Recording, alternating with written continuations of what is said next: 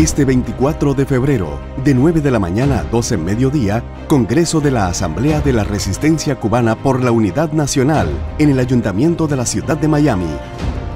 Por la libertad de Cuba, Venezuela y Nicaragua. Por el enjuiciamiento criminal de Raúl Castro. Por el fin a los negocios sucios con el régimen. Asiste y di presente por la patria